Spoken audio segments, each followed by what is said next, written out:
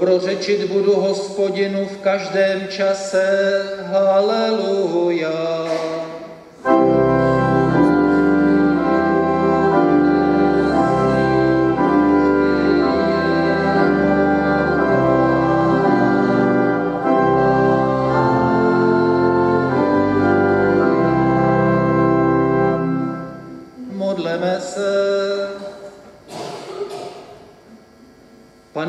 Bože, ty jsi silou všem, kdo v tebe doufají. Skloň se k naší modlitbě a poněvadž bez tebe nemůžeme nic učinit, uděl nám svou milostivou pomoc. Dej, abychom tvá přikázání zachovávali tak, aby naše chtění i činění se ti mohlo líbit. Skrze našeho Pána Ježíše Krista, tvého Syna, který s tebou a s Duchem Svatým žije a kraluje na věky věků.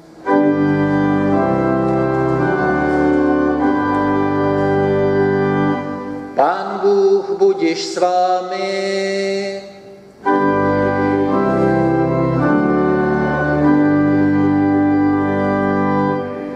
Posaďte se, bratři a sestry, a poprosím teď o to, co si pro nás připravili naše děti.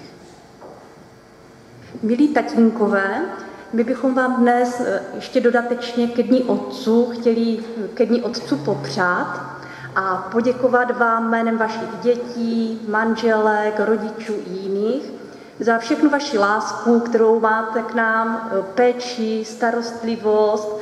Eh, mít dobrého tatínka, to je v dnešní době terno, protože velká část dětí vyrůstá, aniž by s tatínkem žili. Některé děti svého tatínka vůbec nepoznali, některé poznali a nechalo to nejlepší vzpomínky. Někteří se svým tatínkem žijí, ale jsou děti, které se zamračí, když se o tatínkovi mluví a byli by raději, kdyby nebyl a nebylo doma peklo. A jsou takové děti, které měly rádi svého tatínka, ale tatínek se odstěhoval, teď třeba žije s nimi dětmi a jim se stýská. Takže je to tak v životě různé. A proto si vás, tatínku, tatínkové, velice vážíme a přejeme vás, aby vás nám Pán Bůh zachoval, aby vám požehnával, dával hodně sil do toho otcovství. E, přejeme fyzickým tatínkům i duchovním, protože v dnešním světě každý, kdo se jako tatínek ve svém okolí chová, je velmi vzácný. A děkuji taky Pánu Bohu, že je naším nejlepším otcem, ať už tatínky máme svoje nebo nemáme že je nám bezpečným přístavem, kde můžeme zakotvit. A v rámci toho přání jsme si připravili pro vás dvě písničky. Eh, jedna bude reprodukovaná, eh, to se trochu omlouvám, protože technika nefunguje tak, jak bychom si představovali. A do textu místo tesařův syn si můžete doplnit jméno nebo povolání svého tatínka. A až dohraje tahle prezentovaná písnička, tak potom vystoupí děti se svým programem, které pak půjdou na nedělku. A potom ještě na závěr, až skončí bohoslužby, tak pro muže a tatínky bude u východu z kostela nachystáno malé překvapení, příspěvek k nedělnímu obědu, tak si nezapomeňte vyzvednout. Přeji příjemný poslech.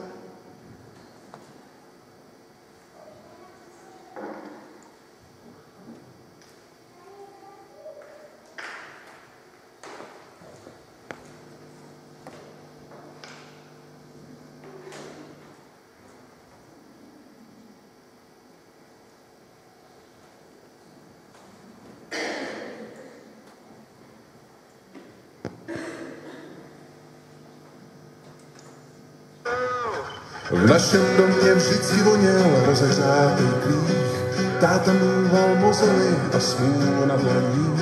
Když ráno za mě vstával, z okna se mě mával, já jsem druhářů syn.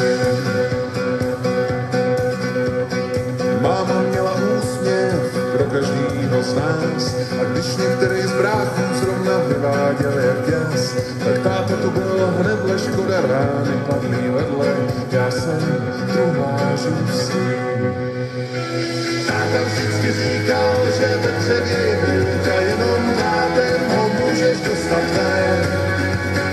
Měla dálky a samej mockej vzduch, jak se otevřely dveře, chtěl jsem jen.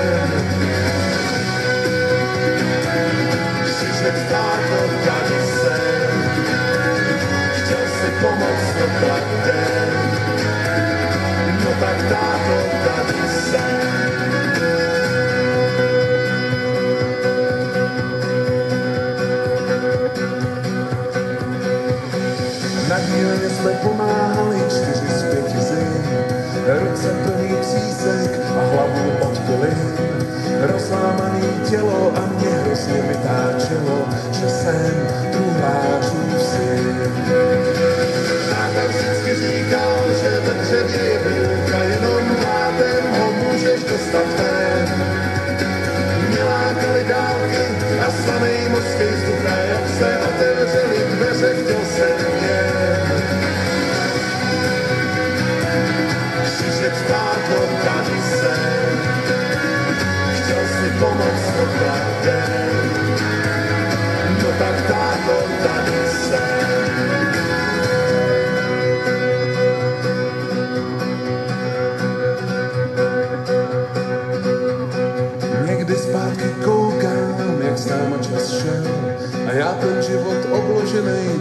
nesnášel. Teď stačí malá tříska a mě se hned stýská, já jsem truhlářův syn. Jedna malá tříska a mě se hned stýská, já jsem truhlářův syn.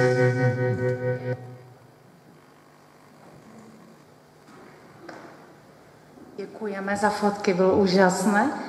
Eh, Já bych chtěla poprosit ještě děti malé nedělky, s kterými jsme natvičovali, Adamka, Františka, Evičku, pojďte k nám, zaspíváme našim tatínkům. Je to ta písnička, co jsme zpívali maminkám, ale máme to připravené pro ty naše tatínky. Tak pojďte děti k nám dopředu.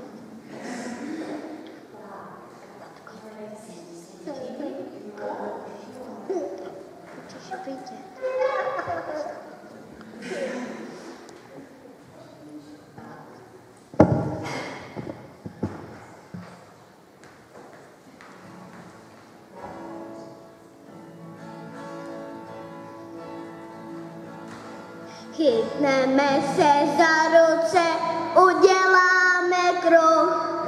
Pán Bůh nám to dal, že tu nejsem sám. Co děláme rádi s naším tatínkem? Co děláme rádi s naším tatínkem? Jezdíme? Ježíme. Ježíme. Jezdíme. Tak si připravíme volant, připravíme si řídítka, nastartujeme auta, traktor, koloběžku a je, jedem. Jezdíme, jezdíme, la la la la la. Jezdíme, jezdíme, la la la la la. Stavíme, Stavíme. Tinkem stavíme hrady, zámky, věže,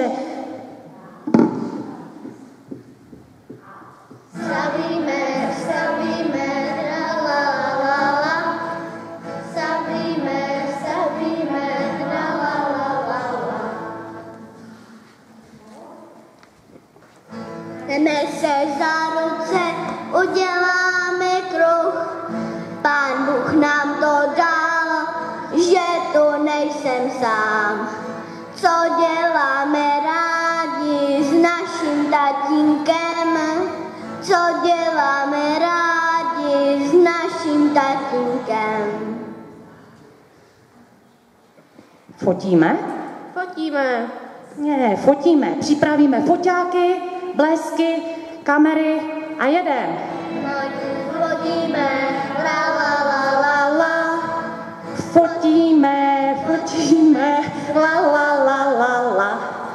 Tak, a teďka něco super co děláme a i my ženské radi, fandíme. Fandíme. Fandíme, jasně, fandíme. Fotbal, hokej, tenis.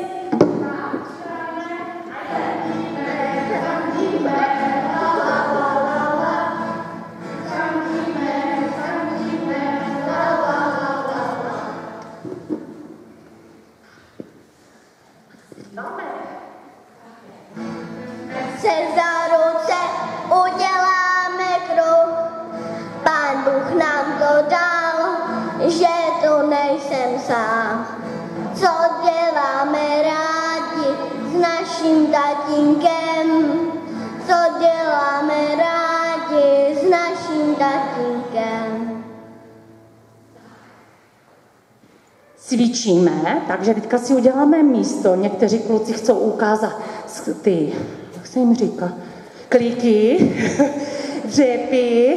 Udělejte si místo. Tož kluci, vy jste to ukazovali. Takže já budu zpívat, připravíme si prostor, jo. Tak, Štěpánko, ukážeš nám, jak cvičíš s taťkou? Výborně. A cvičíme, cvičíme, la la la la la. Cvičíme, cvičíme, la la la la la. I tak to jde, ano? Jasně?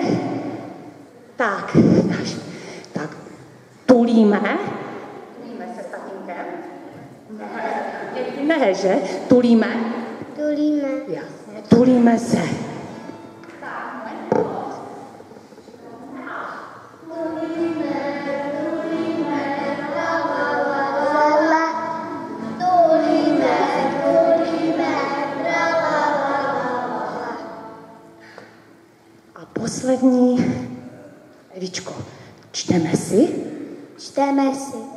Tátové. Takže čteme si Bible, pohádky, různé knihy krásné. Takže si připravíme každý knížku, otevřeme knížku.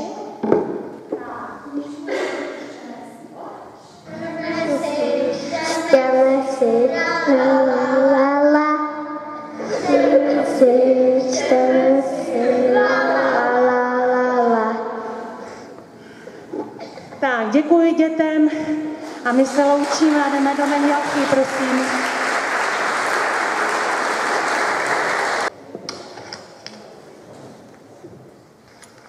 Krásné nedělní ráno, bratři a sestry. Dovolte mi, abych vás přivítal jménem staršostva na dnešních bohoslužbách. Na úvod bych chtěl poděkovat tetám za program, který s dětmi nacvičili.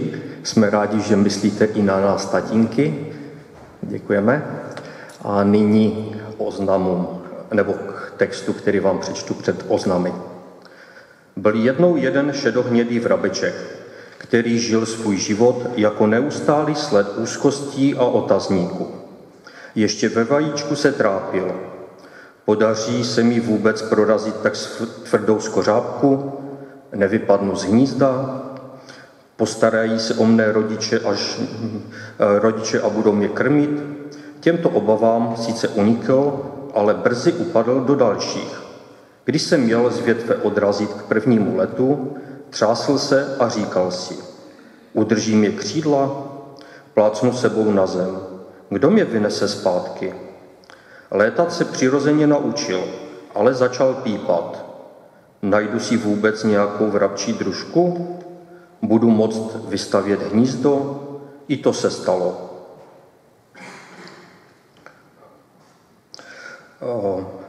Ale vrabeček se trápil úzkostí dál.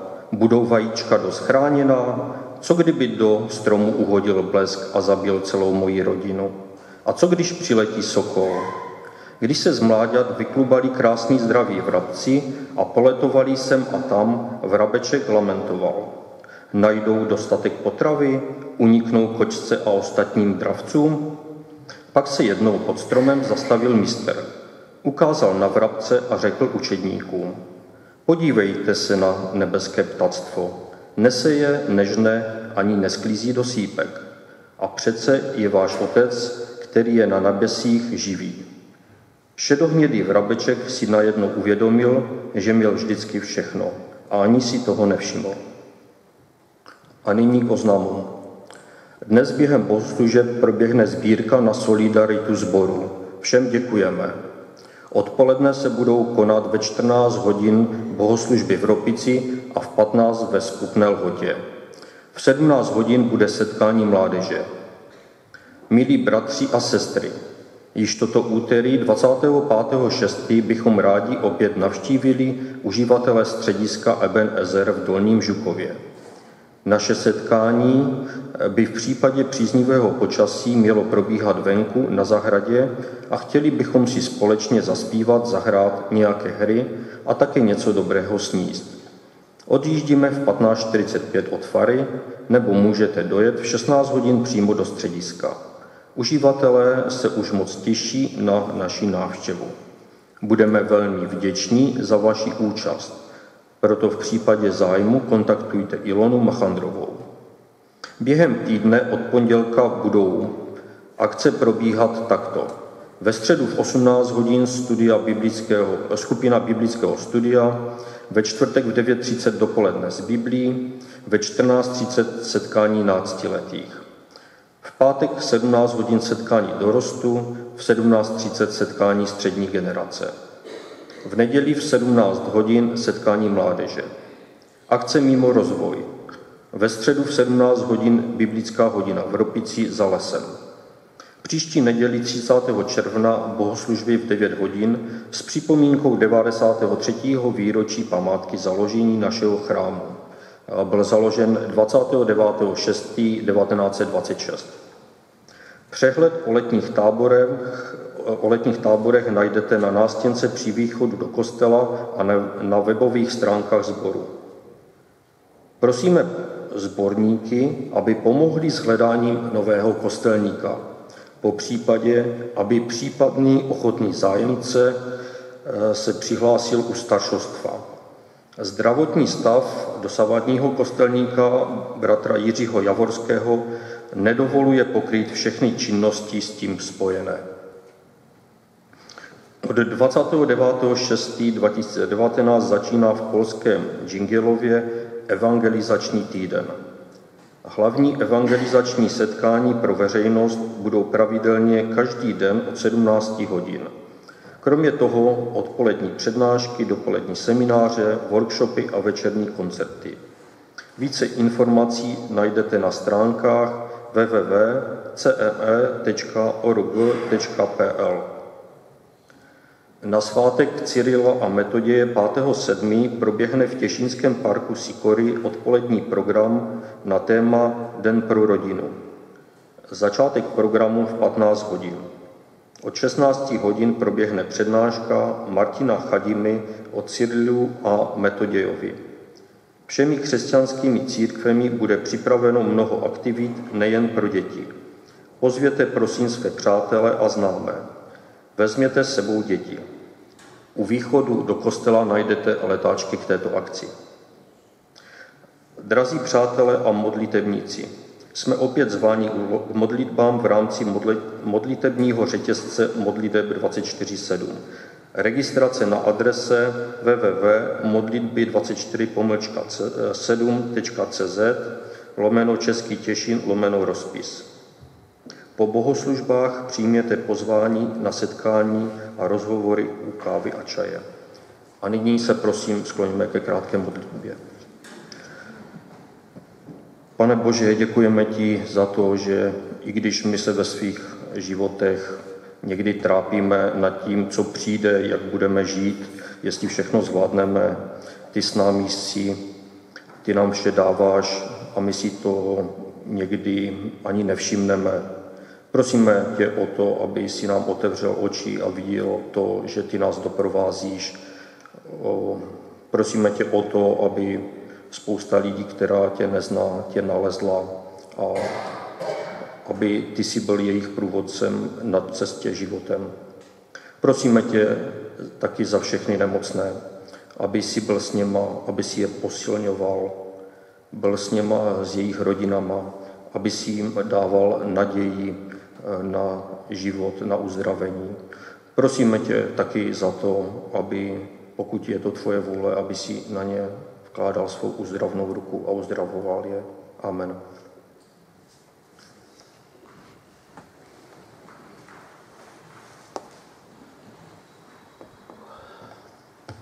Povstaňme, bratři a sestry, a poslyšme eh, čtení, které je pro dnešní neděli vybráno z prvního listu Petrova, z druhé a ze třetí kapitoly vybrané verše.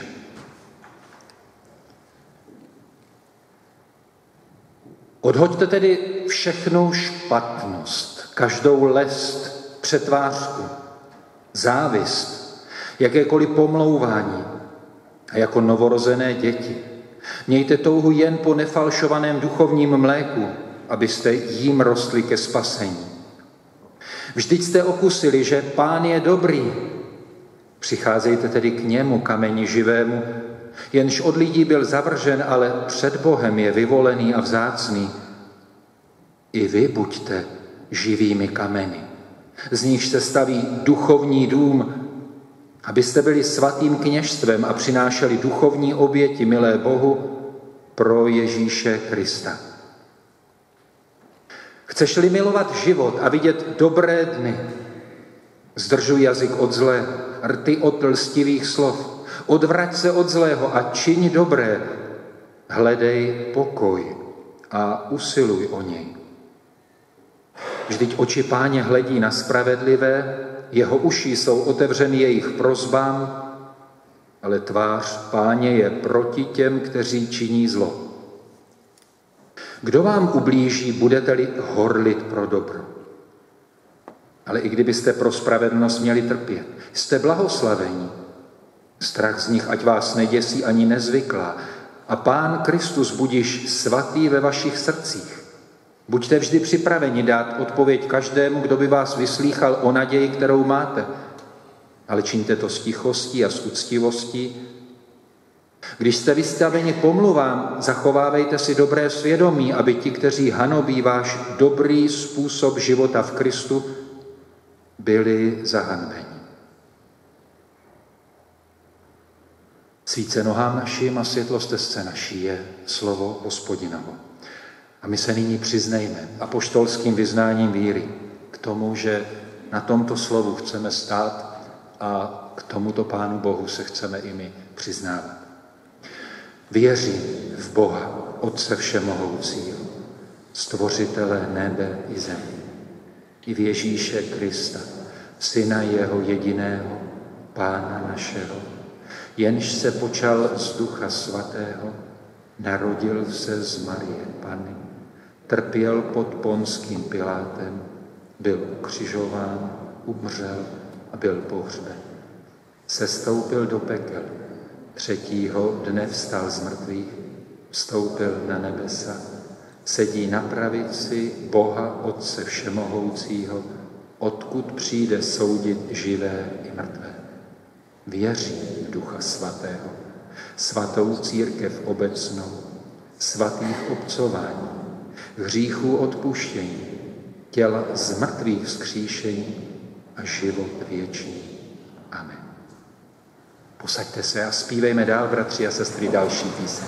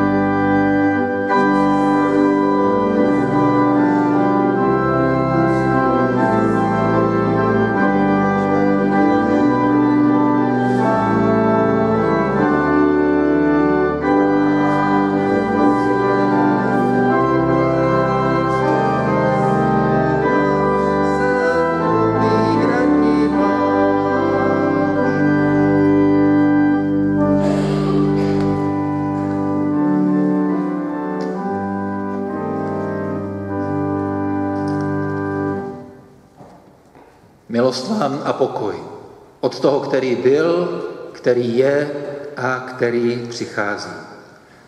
Sestry a bratři, pro dnešní neděli jako základ textu chci připomenout oddíl ze známého příběhu o Danielovi, kterého nakonec strčili do lví jámy, ale já bych chtěl přečíst jenom kousek předtím.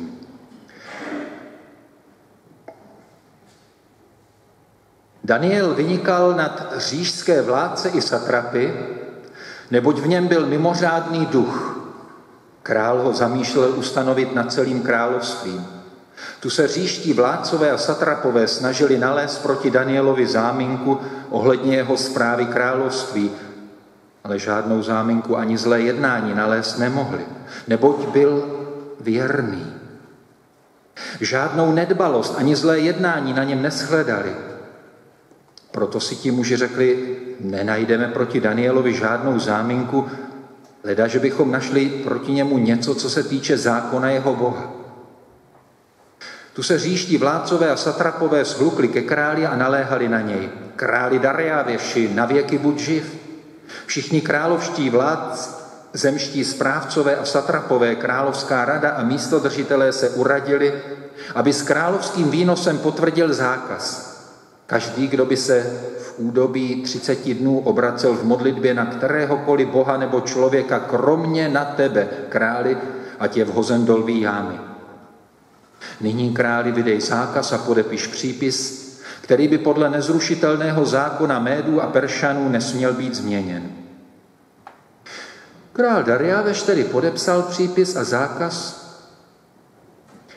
Když se Daniel dověděl, že byl podepsán ten přípis, vešel do svého domu, kde měl v horním pokoji otevřená okna směrem k Jeruzalému, třikrát za den klekal na kolena, modlil se a vzdával čest svému Bohu, jak to činíval dříve.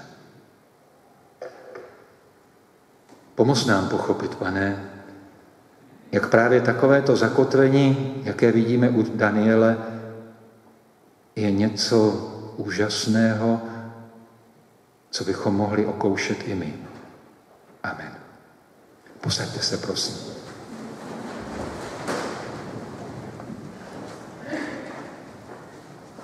Po svátku svaté trojice jsme vstoupili do období, kterému se v církvi říká období nesváteční. Toto období po svátku trojice je opravdu poměrně dlouhým časem, v němž po několik měsíců nejsou žádné významné církevní svátky, krom toho, že některé sbory si připomenou založení chrámu eh, nebo to, že je svátek mistra Jana Husa, ale to nejsou jaksi svátky celocírkevní, to jsou takové e, místní, řekl bych. Máme si v tom čase, kdy jsme vstoupili do, řekněme, všedních nedělí, dát pohov i od Pána Boha? Máme toto období vyplnit taky jenom tím, že si řekneme, tak teďka už budou prázdniny, tak si budeme užívat dovolených, starat se o rodinu, chodit po horách. Co myslíte, neznamenalo by to, že byste pak prožívali ty dny a neděle s podivně napnutým svědomím, a nebo, jak to četl Tomáš, se svědomím velmi znejistělým, jak ten vrabeček? Když člověk vypustí Pána Boha, tak najednou má spoustu zbytečných starostí. Eh, pevně věřím, že i všední dny eh, v sobě mohou mít jakýsi zvláštní podíl na boží slávě. Eh, pevně věřím, že i všední dny a všední neděle, to všední období, které je teď před námi, může být něčím prozářeno. A pokusím se vám to dnes předložit s tím, že začnu taky ještě jedním příběhem, chasickým příběhem, a k tomu se odvážím připomenout. Eh, je to spojeno s příběhem chasického rabína Bál Šem Tova. Israel byl Eliezer, zvaný Baal Shem Tov, což hebrejsky znamená pán dobrého, totiž božího jména. Žil v letech asi někdy kolem 1700 až 1760. Je považován za zakladatele východoevropského chasidismu. E, I v židovské, e, nebo jo, v židovském náboženství tenkrát vzniklo něco jakoby duchovní probuzení. Bálšem a někteří jemu podobní uprostřed židovské komunity na místo rabínské učenosti tenkrát začali hlásat radostnou, niternou zbožnost, osobní nápravu, lásku k bližnímu, to, co známe z epištol, takhle se chovejte, žijte dobře, opustte zlo, žijte v pokoji, jak jsme si to četli. Velký důraz přitom tenkrát Bálšem také kladl na modlitbu, jež prý vede až někdy k vytržení, ty modlitby se někdy projevovaly i pohyby těla, výkřiky, tancem, zpěvem. To, co bychom dneska řekli charizmatici, že? Tak to zakoušeli židé někdy od 17. století. Bálšem také nabil velké množství praktických znalostí léčivých bylin a lidového léčitelství a měl později dokonce věhlas divotvůrce. A tenhle ten významný židovský rabi, eh, který skutečně byl považován za divné člověka, který dělá zázraky, se jednou zdržel ve městě, jehož jméno už je zapomenuto. Před pravidelnou ranní modlitbou pokuřoval jako obvykle ze své fajfky a díval se ven z okna a všiml si, jak kolem šel, procházel zrovna nějaký muž. V ruce si také nesl modlitební plášť a modlitební řemínky. A jeho kroky byly tak prostě slavnostní, jako by jeho cesta směřovala k nebeské bráně.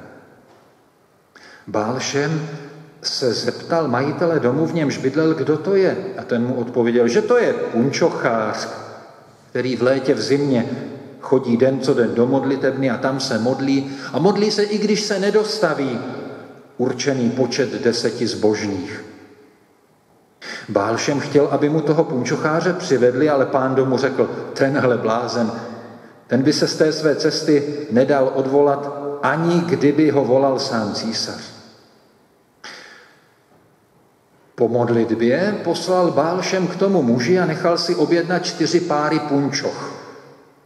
Za nedlouho punčochář přišel a rozložil před něj své poctivě vyrobené zboží z dobré ovčí vlny. Co chceš za jeden pár, ptal se rabi Bálšem. Jeden a půl zlatého, řekl punčochář. Budeš spokojen i s jedním zlatým, praví rabi. Pak bych to byl sám řekl, odpověděl na to punčochář. Rabi mu i hned zaplatil, co žádal a ptal se ho dál, čím se zabýváš? Provozuji své řemeslo, odvětil ten muž. A jak ho provozuješ? No pracuji, dokud nemám 40 či 50 párů punčoch, pak je vložím do necek s vodou, nechám je srážet do té doby, až jsou takové, jaké mají být. A jak je prodáváš? Nevycházím ani ze svého domu. Ale ke mně přicházejí kramáři, kupují ode mě a také mi přinášejí dobrou vlnu, kterou pro mne získali a já jim za jejich námahu něco zaplatím. Jen rabi mu kecti jsem dnes vyšel z domu. Když ale časně ráno vstáváš, co děláš, než se jdeš modlit? Také punčochy. A jak je to s odříkáváním žalmů? Některé znám na spaměť, odpověděl muž. A ty si při práci odříkává. Když punčochář odešel, řekl Bálšem okolo stojícím žákům, dnes jste viděli základní kámen, na němž bude chrám spočívat až do doby, než přijde vykupitel. Rád bych tímto příběhem vyzdvihl tenhle ten obyčejný lidský život, který může vést kdokoliv z nás.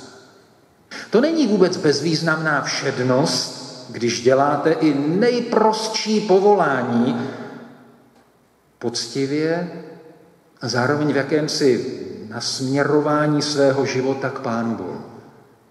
To není beznadějná, beznadějně tuctová dráha, jestliže se umíš poctivě postavit k práci a jestliže si i druzí tvé práce pak cení jako poctivé, i když, a když to všechno je neseno tou neokázanou zbožností, eh, to je, to je radostné uchopení života jako cesty k nebeské bráně.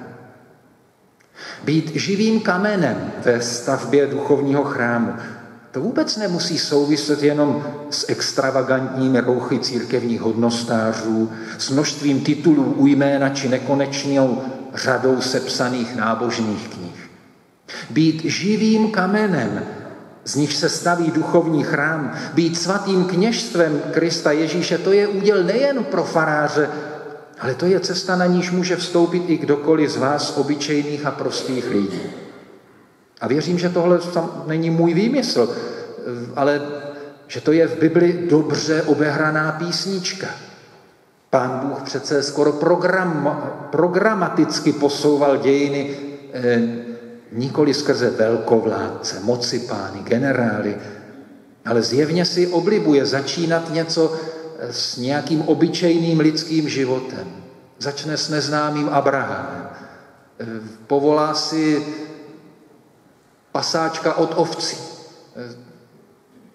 Děvče z Nazareta, které do té doby nikdo neznal.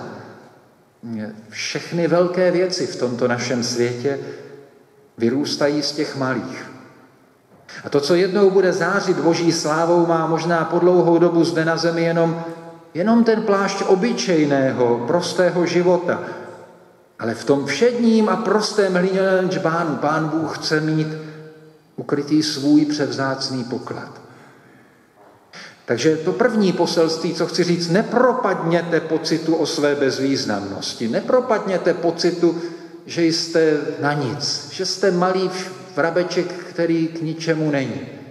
Jestliže se Bůh stará i o vrabečky. I vás má na zřeteli. Ale tady nastupuje dost závažná otázka. Co tedy mohu udělat pro to, abych abych se necítil zbytečným, bezvýznamným, příliš všedním. Co mohu udělat pro to, abych mohl očekávat něco slavného pro svůj život? Tak zaprvé nepropadněte křeči, že si to musíš nějak člověče vydobít, či zasloužit, či vybudovat ty sám. Pán Bůh skutečně od stvoření světa chce mít svůj protějšek či obraz v tobě, člověče. Celý náš svět je stvořen pro tebe, člověče. To znamená, že jsi od samého počátku obdarováván dobrými věcmi. A dokonce i tam, kde jsme svým hříchem mnohé zkazili, velmi mnoho poničili, Zase Pán Bůh udělal skrze Ježíše Krista to základní, zásadní napravení. Skrze Kristův kříž Bůh odstranil zásadní bariéru, jež nám stála v cestě a znovu nás volá k sobě. Znovu nám nabízí obnovení vztahu. Znovu nám nabízí ono propojení, propojení, které do všednosti či obyčejnosti života vnáší onen poklad. A proto, a to je to druhé, co chci spolu s dávným Balšemem eh, podtrhnout, je eh, význam osobní modlitby. Toho tajemného propojení se zdrojem všeho dobra. V tomhle ohledu, bratře a sestro, nespoléhej. Nespoléhej na druhé. A nečekej, že tohle by mohl někdo dělat za tebe. Tohle je věc, která, kterou Pán Bůh skutečně od každého z nás čeká. Zpívá se jeden ten spirituál. Ani otec, ani matka, ale jsem to já, kdo stojím, stojím tady v modlitbách. Nechtějte, aby tohle vzal někdo za, za vás. Modlitba je osobní navázání rozhovoru s Otcem všech A to je, tohle je ta tvoje jedinečná příležitost. Tohle je neskutečná možnost, jak odpovědět na boží pozvání. Pojďte ke mně všichni, kdo se namáháte, kdo pracujete, pojďte ke mně. A já vám něco přidám do vašeho života. To, co je to posvěcující, to, co je to ozvláštňující, to, to, co přichází z hůry, to pán Bůh slíbil, ale slíbil těm, kteří ho hledají, kteří přicházejí s tou modlitbou. To není drzost modlit se. To není opovážlivost, že si chci něco vynucovat. Modlitba je naše právo, naše promlouvání k Bohu. Jako odpověď na boží pozvání, pojďte ke mně. Modlitba to je dětinská odpověď na lásku. Dneska jsme to tady vnímali. Děti chtějí projevovat svým, svým tatínkům, svým rodičům, jak si vděčnost, projevit lásku. To je skoro to tež, co bychom očekávali, takhle má vyznívat naše modlitba. Není nutné v tu chvíli předepisovat nějaké hodiny, kdy se musíš modlit. Není potřeba asi dodržovat nějaké formální procedury, jak se modlit. Máme v Biblii jeden krásný vzor a model modlitby, tu modlitbu páně, a ta je úžasná. Ale to, co je potřeba posilnit, to je právě ta naše touha po společenství s Bohem. A řekl bych, jaksi pravidelná potřeba. Touha po modlitbě, Tedy to uvědomění si, že právě skrze modlitbu a skrze navázání osobního vztahu s Bohem proniká do naší všednosti něco absolutně vzácné a nevšední. Modlitba je životodárný zdroj propojení s dárcem života, s dárcem všech dobrých darů. Proto apoštol říkal, jako novorozené děti, mějte touhu po duchovním mléku, Takhle to radil apoštol Petr. Mějte touhu. Užívejte si toho, že smíte jako kojené děti, které se křikem dovolávají nasycení. Zbavení problémů, které se dovolávají pomoci. Novorozené děti touží potom, aby byli nasyceni. A vy jste boží děti, když jste uvěřili. Užívejte si toho. Modlitba není mluvením do vrby. Modlitba je mluvení s Otcem, který za námi pohlíží jako starostlivá matka za kojence.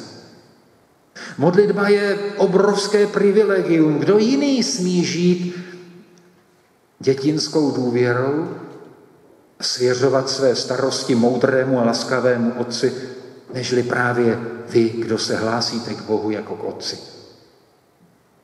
A přesně tento příklad nám tady dává i ten moudrý, vzácný muž Daniel. Byl považován za jednoho snad dokonce z největších proroků. Co na něm bylo tak výjimečného? Odvedli ho jako mladého kluka od rodiny, odtrhli, udělali z něho králova služebníka, který si eh, v cizí zemi moc nemohl vyskakovat. A tenhle moudrý Daniel má jednu životní podstatnou zásadu. Modlí se. Vnímá, že pravidelné spojení s Pánem Bohem je pro něho víc než všechny královské trůny a sliby a všechno ostatní. Těšil se přízní krále. Mohl mít jedno z nejvyšších postavení v zemi. Ale nepropadl pokušení píchy, nepropadl představě, že si musí své místo uhájit sám třeba intrikami proti těm ostatním. Ráno i večer klekal k modlitbě. Držel se svého Boha jako to dítě své matky. A pak přečtěte si ty příběhy Danielovské. To jsou někdy, to jsou příběhy, ze kterých čím vším prošel tenhle ten muž. Čím byl slavný? Žil svůj život tam, kde byl, tam, kde ho okolnosti vlastně nechtěné donutili, tam žil a držel se svého Boha modlitby. A proto vás dnes na počátku toho, řekněme, nesvátečního období eh, chci povzbuzovat, rozvíjejte svůj modlitební vztah, uchovejte si napojení na zdroj požehnaného života. V tom vidím docela prostý, ale důležitý princip, jak žít plnohodnotný život a nejenom procházet pak šedivostí, všednosti nebo mlátit se ode zdi ke zdi v pišných ambicích. Žij s modlitbou na rtech. Tvůj život bude nevšedním příběhem božího zrcadlení v tomto světě.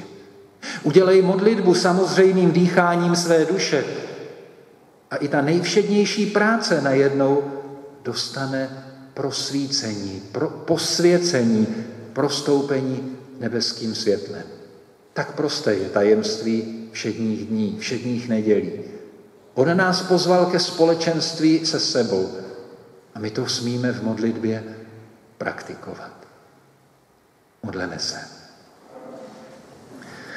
Pane Ježíši Kriste, děkuji ti za to, že nejsi od nás úplně odtržený, vzdálený, nedostupný.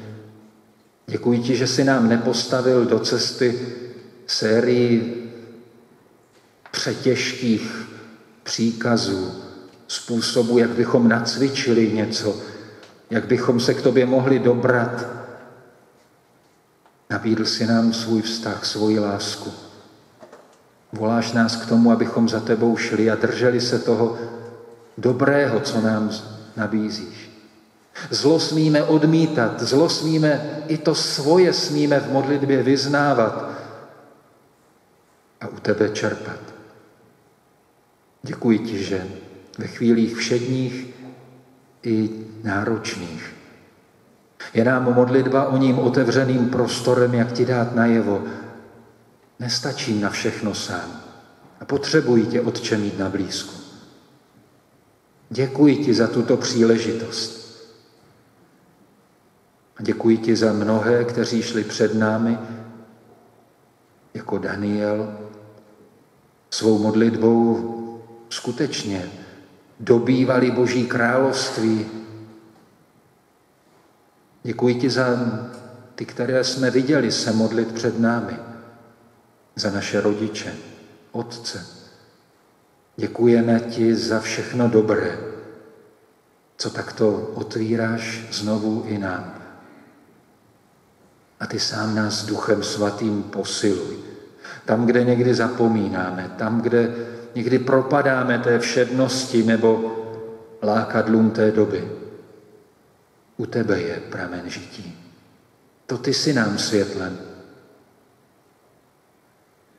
K tobě se i v této chvíli obracíme a voláme tak, jak si nás učil skrze modlitbu ústy vyslovenou tvého syna. Otče náš, který jsi v nebesích, posvěť se jméno Tvé, přijď království Tvé, buď vůle Tvá jako v nebi, tak i na zemi. Chléb náš vezdejší dej nám dnes a odpust nám naše viny, jako i my odpouštíme našim viníkům. A neuveď nás v pokušení, ale zbav nás od zlého. Neboť Tvé je království, i moc, i sláva na věky. Amen. Posaďte se, bratři a sestry, a zaspíváme teď první tři sloky z písně 714, pak ji ještě i dospíváme, že píseň 714 začneme v prvních třech slokách a poté po připomínce bude ofěra.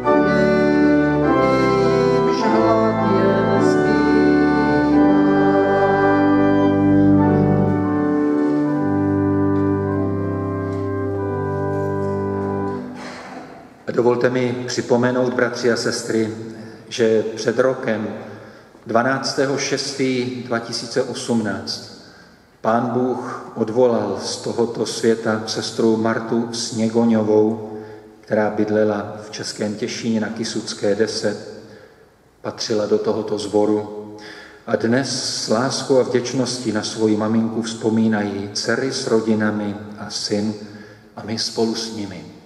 I tyhle věci, že nás někdo předešel, nás přitahují k Pánu Bohu. A tak ti, pane Bože, z vděčnosti na ty, kdo nás předešli do tvého království, dnes společně děkujeme za sestru Martu Sněgoňovu, za svědectví její víry, které předávala i ona svým dětem. A moc prosíme, aby si nám všem dal, abychom takhle věrně předávali i my svým dětem, jak důležité je mít vztah s tebou.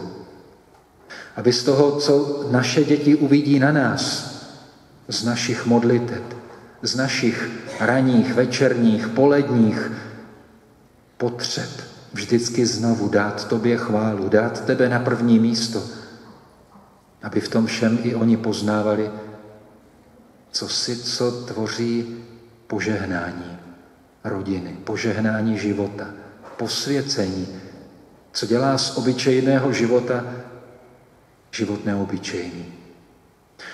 Dnes ti chceme za to děkovat a prosit, provázej i nás svou mocí. Prosíme o to, aby si rodinám, které vzpomínají na svoji maminku, dal svůj pokoj.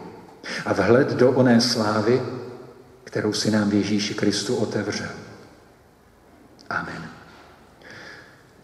Bratři a sestry, zpívali jsme před chvílí, že ti, kdo hledají Boží království, ti mají takové bohatství, že mohou ještě i ze svého udělit těm potřebným.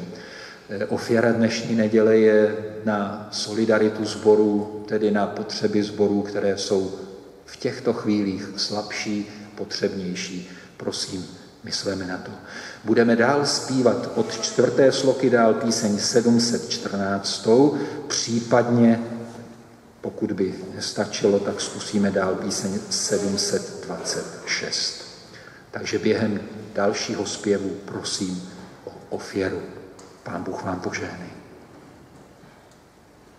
Měl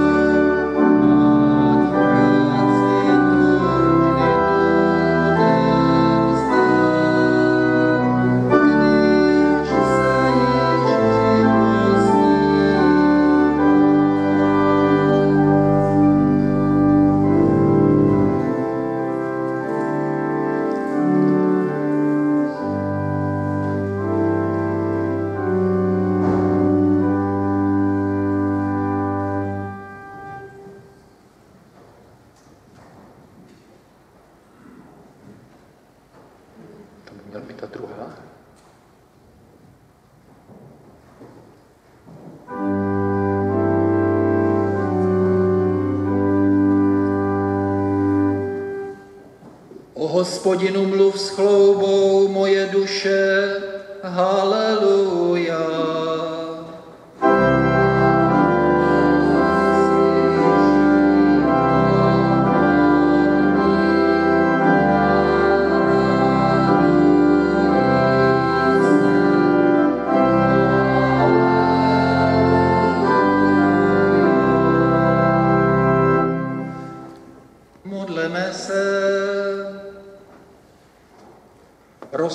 se, pane, na to, co jsi s námi učinil, a ne na to, co si zasluhujeme. Když si nás povolal do své služby, učiň nás hodné tohoto povolání. Skrze Ježíše Krista, Syna Tvého a našeho Pána, který s Tebou a s Duchem Svatým žije a kraluje na věky věků.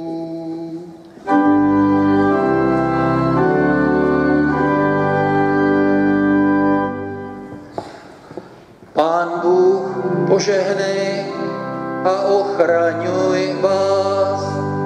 Pán Bůh rozsvěť tvář svou nad vámi a budiš vám milostivý. Pán Bůh obrať tvář svou k vám a dej vám svůj časný i věčný pokoj.